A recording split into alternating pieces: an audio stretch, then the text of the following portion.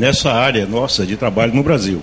O Fernando mesmo trabalhou muito tempo com ele, eu me lembro no início do trabalho, você frequentava a sonotécnica frequentemente, estava sempre com o Francis, com, discutindo trabalhos a serem apresentados em congressos, e ele sempre foi uma pessoa que deu muito destaque à participação do geólogo trabalhando com o engenheiro juntamente. Eu tive a oportunidade de trabalhar com uma série de engenheiros geotécnicos formados no época de ouro aqui no Rio de Janeiro.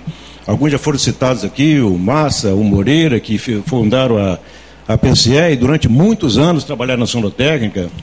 O Narciso, uma série de outras pessoas que numa época de ouro, onde nós tínhamos muitos projetos trabalhando ao mesmo tempo, podíamos compartilhar em viagens conjuntas, em trabalhos conjuntos e de uma forma que o Francis organizou, me parece que diferente das outras empresas, onde o geólogo e o engenheiro trabalham conjuntamente, tanto no campo quanto no projeto, dando a participação conjunta para se chegar a uma situação que pudesse definir, é, definir de uma forma adequada as características do meio, as condições de resistência, deformabilidade, permeabilidade, arranjo das obras em si, mas sempre numa participação conjunta. Dessa forma, não há briga entre geólogo e engenheiro. Ainda hoje eu trabalho na empresa e o tempo todo sou requisitado pelos engenheiros e estou também requisitando deles para participar dos projetos da forma conjunta. Eu acho que é isso que deve ser feito. Não adianta o geólogo querer trabalhar fazendo os projetos de engenharia, nem o engenheiro querendo interpretar as, as investigações, os mapeamentos de geologia. Tem que trabalhar junto. Essa é a forma que me parece correta de que a gente venha a contribuir, continuar trabalhando dessa forma. Hoje é tão difícil se trabalhar nessa área, primeiro porque não tem tanto projeto, já não tem recursos para investimento. E depois, porque nós perdemos muito das empresas de sondagens que existiam. A própria Sondotécnica foi uma das grandes empresas no Brasil, as grandes obras todas na Bacia do Paraná e Minas e todo, todo esse país. A Sondotécnica fez a maior parte das investigações. Nós tínhamos convênio com o Lenec, se falou muito lá em, em Tucuruí, Tucuruí, em, em Itaipu, todos aqueles ensaios de macacos planos, cilindros sensíveis, é, sondagens integrais, tudo isso era feito conjuntamente numa época onde tinha muitas investigações para se fazer. Você saía da escola, você terminava um curso de mestrado, imediatamente você estava trabalhando, tinha condições de oportunidade e já com uma orientação de pessoas bastante experientes repetindo aqui o que foi falado, esse grupo que veio de São Paulo para cá, naquela, naqueles anos 70, mais ou menos, deram uma contribuição muito grande ao desenvolvimento da geologia de engenharia aqui no Rio de Janeiro. Bem, eu acho que essa é uma forma mais adequada da gente desenvolver os projetos de engenharia na área de geotecnia. Participação conjunta do geólogo de engenharia com o engenheiro. Uma outra coisa que eu gostaria de falar é que, infelizmente, hoje, quando você vai fazer interpretação de investigações para uma grande obra, você encontra uma dificuldade imensa em saber o que é que uma sondagem está querendo dizer. Porque o sondador que executa o furo, ele mal sabe o que, que ele está falando em termos de solo, em termos de argila, de silt, de areia, de cor, de origem. O que vem na cabeça, ele escreve. Mas aquilo não tem nada a ver com a realidade. Se falou aqui, se não tiver um técnico habilitado acompanhando essa investigação, aquilo é uma, é, é, é uma informação que pode ter alguma credibilidade, ou muita, se passar depois pela mão de um técnico, de um profissional especialista que transforme aquelas informações que estão no boletim e mais o mapeamento que ele fez e mais a classificação que ele faz na sondagem em um, em um documento que seja realmente utilizado. Porque depois você compara o perfil individual com o boletim de sondagem, é praticamente a mesma coisa. O perfil individual não tem os erros de português, a linguagem está mais clara, mas você vê que não passou depois pela mão do especialista que definiu efetivamente o que é isso. E tem aqui três geólogos trabalhando comigo que estão passando por um problema desse tipo. É extremamente difícil hoje em dia você chegar à conclusão para, por exemplo, uma zona litorânea com sedimentos marinhos, onde ocorreram transgressões e regressões sucessivas, misturado com solo residual, e você depois encontrar uma definição de solo que não tem nada a ver não, não, não te dá condições de você identificar que camada é aquela. Aquilo é um solo residual, aquilo é um sedimento marinho depositado na parte, na parte continental, quando houve uma transgressão. É extremamente difícil e eu não sei como resolver isso, porque as empresas de engenharia de, de sondagem hoje em dia, elas buscam executar um serviço com os preços unitários que existem. Então, não se dedica a colocar um geólogo especializado, ou mesmo um técnico altamente especializado, um engenheiro geotécnico, para fazer essa classificação. E nós estamos fazendo, utilizando informações que são muito pobres do ponto de vista de classificação. E isso pode trazer a problemas de ruína muito importante no futuro. Espero que não. Acho que a BGE deveria se preocupar um pouco com isso. A BGE tem tanta coisa importante, agora mesmo foi publicado um novo manual de sondagem, mas tem que se é, preocupar muito na parte de classificação das sondagens, dos perfis de sondagem. Tem que haver uma forma de obrigar as empresas a apresentar resultados que sejam compatíveis com a parte técnica que ela está precisando. É isso. Muito obrigado.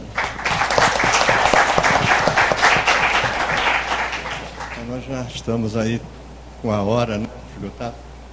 Mas eu gostaria de colocar sobre esses últimos tópicos aí que tenho vivenciado, sobre esse acompanhamento das sondagens. Nós temos uma boa notícia que na Rural está um movimento para criar um curso técnico de geologia dentro das dependências do, de um curso técnico que já existe lá de agronomia, agrimensura. Petrobras está apoiando, nós estamos aí, toda a sociedade apoiando, sociedade geotécnica envolvida no Rio de Janeiro. Agora vamos ver as definições para que área vai focar, né? Com o petróleo aí, mas vamos, de qualquer forma, é muito positivo isso aí. Essa questão de, de examinar, acompanhar a sondagem, nós tínhamos até técnicos né, de, de sondagem para acompanhar nas, na, sondagem, no, na sonda, mas agora, passado esse tempo, agora estamos com essas dificuldades aí de, de da credibilidade do, de ver os boletins. Às vezes precisa até fazer checagens disso aí, né? mas é uma, um momento que tem, tem que acompanhar. O cliente que tem que realmente acompanhar para não ter surpresa no final, poder fazer o projeto com segurança. Né? Peço mais um caso aí, intervenção, senão nós vamos encerrar para partir para o coquetel. Aqui nós temos a Ingrid, então, do NAD, lá do DRM, Serviço Geológico de... Obrigada, Zé. Queria agradecer aí, é, é, parabenizar, quer dizer, a mesa pela, pelas colocações e na verdade, acho que aqui a casa poderia estar mais lotada se não fosse a concorrência do Rock in Rio aí, que trouxe também um, um, um, levou aí um pessoal que estaria compondo conosco, mas é, acho que o que a gente poderia também de contribuição em relação ao futuro da BGE, como a Beth colocou, o professor Merim, o professor Fernando, é a, até mesmo eu vejo com otimismo a questão da inserção do jovem na na, na composição da, da inserção dentro da associação. Né? Há muito interesse da, da, da nova classe em relação a ter mais capacitação e também a querer entrar na questão dos cursos que muitas das vezes, como já foi comentado, são voltados mais para a BG Nacional. Eu também faço parte da, do Conselho da Nacional e e de fato esse movimento ele até foi pouco escasso.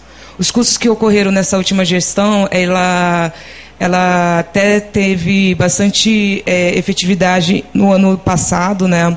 Mas até para a questão até de tentar trazer uma mobilidade para o congresso que vai ser realizado agora no final do ano, é, vejo que a gente tem como ainda introduzir com maior efetividade a associação para os novos e, ou futuros associados, né?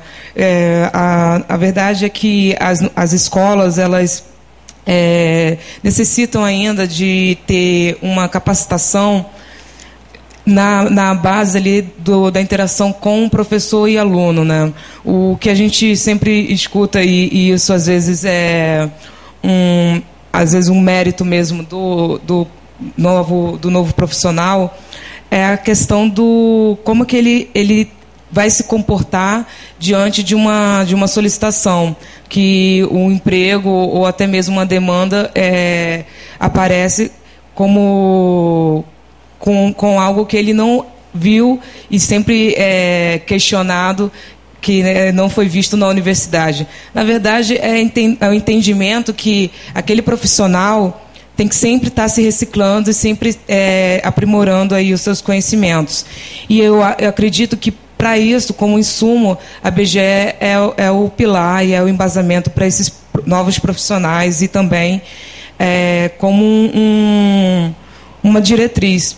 Um exemplo que eu vou dar para vocês é na semana de geologia que, né, na, que ocorreu no início do ano na Universidade lá de Unicinos e também no Encontro Nacional dos Estudantes, foi requisitado para o grupo do DRM é, realizar palestras em relação a questões sobre risco geológico, na, na, que é o que nós, é, no momento, estamos bem focados, e também a respeito do, dos, das diretrizes que a geologia de engenharia e ambiental poderia dar. Então, isso mostra que há muito interesse dos novos profissionais e também dos estudantes que estão na graduação de estar é, querendo entrar como com maior é, embasamento, né? Então eu vejo que a BGE ela tem como, como agora como propósito e do núcleo Rio, né? De expandir melhor essa questão de cursos, expandir melhor a questão da, da capacitação e promover, né? Até é, saindo um pouco dessa questão da geração pós-Google, ou como bem é, o pessoal lá do professor Serri chama a geração Z, na verdade, essa, essa geração Z, que talvez eu também me incluo, ou todos aqui é, estamos inclusos, né? ela é uma geração que a velocidade da informação é, tá ali, é, é, constante, mas assim o interesse é, pode ser até é, bem focado, mas há um interesse sim de você sempre ter a, a questão da, do, de você trabalhar melhor o comportamento do como que está a associação e em relação à universidade, em relação a essa nova gama de profissionais. Você tem diversos é, dispositivos legais que estão cada vez mais exigindo é, melhor capacitação do profissional, seja no enfrentamento das obras estruturais, é, ou, ou, seja em relação a barragens, túneis, ou na questão da gestão de riscos. Então, a BGE, sim, é o nosso embasamento para a questão da capacitação. Essa é a contribuição. Obrigada. Franquearia a palavra agora aos membros da mesa aqui para posteriormente fazer o encerramento. Por favor, Roberto. É, gostei muito, viu, do que você falou. É, então, eu acho que a BGE ela tem muito a oferecer para a sociedade, é, principalmente para aqueles que não têm uma relação direta com a universidade. Muitos profissionais que não frequentam a universidade é, para pós-graduação ou curso de especialização, eles precisam ter um, um órgão, uma entidade que que congregue, congregue as informações técnicas e o desenvolvimento técnico da área. Então, para nós da geologia de engenharia, a BGE ela representa isso, é mostrar as novas tecnologias e promover a, a, divulgação dessas informações. Então, eu fico muito feliz é, de participar da associação Espero que eh, esse grupo do Rio de Janeiro consiga trazer bons cursos para cá, de pessoas nacionais e internacionais, né, para a gente poder fazer com que o profissional do Rio de Janeiro não tenha que sair daqui para ir para outros lugares fazer curso, né? Então é isso, eu queria agradecer aí ao convite do Eusébio, né, e a todos aí. É, muito obrigada.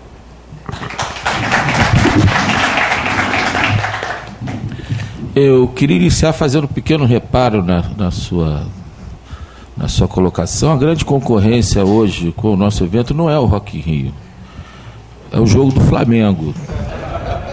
Se fosse do Botafogo, tinha gente querendo entrar ali na. No, não é, não é Cláudio?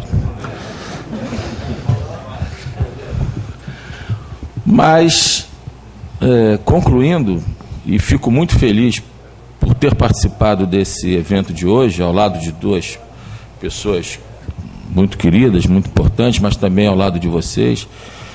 E volto a afirmar que a gente, os nossos, nós palestrantes, temos que ser mais é, criteriosos e mais econômicos para dar a voz à plateia. Eu cada vez mais, viu, Guilherme, entendo que a gente tem que permitir que a plateia se expresse e, e, e, esse exemplo de hoje demonstrou que, que o debate se enriquece com a participação das, pessoas presentes ao evento. E terminar dizendo, o Cláudio fez referência a, a algumas questões que eu coloquei, terminar dizendo que eu entendo que geologia de engenharia é, antes de tudo, geologia. Isso não, não há a menor dúvida mas que nós, geólogos, precisamos nos preocupar com o fato de que muitos engenheiros ainda saem das universidades sem o devido, e por isso eu faço questão de dividir a geologia que é dada nos cursos de geologia, quanto a essa geologia eu não estou preocupado, mas aquela geologia que é dada nas escolas de engenharia, a gente, claro, tem o FRJ, tem a própria UERJ, tem, temos grandes escolas, mas eu vejo que ainda muitos engenheiros eles se formam sem o devido entendimento daquilo que é o conhecimento geológico aplicado às questões de engenharia e às questões ambientais. Com a percepção de que a geologia é uma ciência que depende fundamentalmente de políticas de Estado, como o Latigé, nosso conselheiro agora do Clube de Engenharia, representando a nossa categoria aqui dentro dessa casa, sem o devido entendimento de que nós precisamos é, estar atentos para esse fato, nós vamos ficar dando voltas em torno de nós mesmos. Porque hoje a pressão para prazos, a pressão para custos, a pressão para que a, o trabalho seja feito no menor tempo possível é muito grande. E isso acaba sendo um prejuízo para as investigações geológicas, para o entendimento dos processos. Quando o Guilherme falou que o Enzo Totes ficou dando volta, dando volta, dando volta, eu fico imaginando se hoje isso seria possível. Porque na primeira volta o engenheiro já teria dito: olha só, eu tenho que entregar esse relatório hoje, eu não tenho como ficar aqui esperando você ficar rodando em volta desse talude. Então, eu acho que a gente tem que estar preocupado com essas questões sim e temos que ter consciência desses desafios. Eu acho que esse evento ele